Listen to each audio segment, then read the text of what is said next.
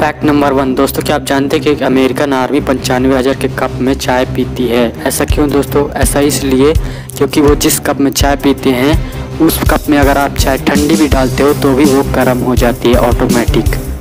fact number two क्या आप जानते हैं दुनिया का पहला कार एक्सीडेंट सन अठारह सौ इक्यानवे में अमेरिका के ओहियो में हुआ था फैक्ट नंबर थ्री दोस्तों क्या आप जानते हैं टी सरी जो कि इंडिया का सबसे बड़ा यूट्यूब चैनल है इसके संस्थापक श्री गुलशन कुमार जी ने टी का मतलब बताया है ट्राइडेंट जिसका हिंदी मतलब होता है त्रिशूल और इसके संस्थापक श्री गुलशन कुमार जी शिव जी के बहुत बड़े भक्त थे